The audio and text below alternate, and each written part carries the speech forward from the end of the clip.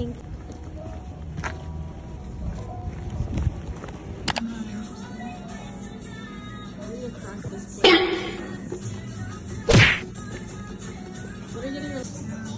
It's awkward. Yeah, because I think it's important and everything, but then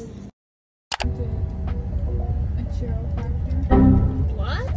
Or Chiropractor? the chiropractor? Or a chiropractor. That's all I was allowed to say. Or a chiropractor.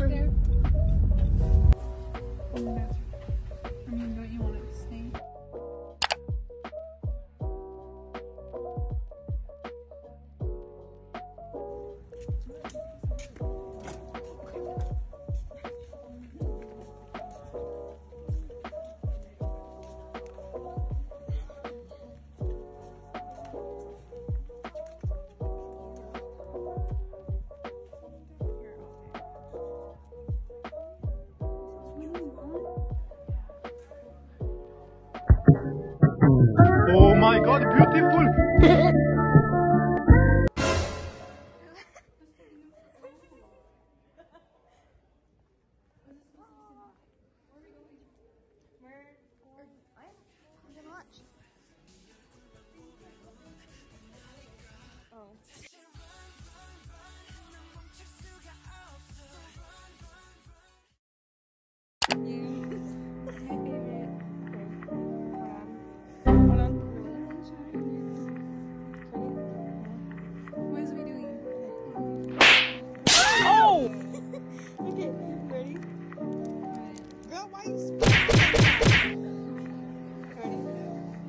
just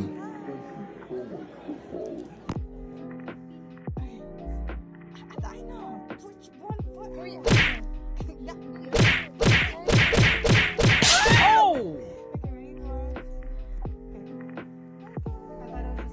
Oh no, it's us.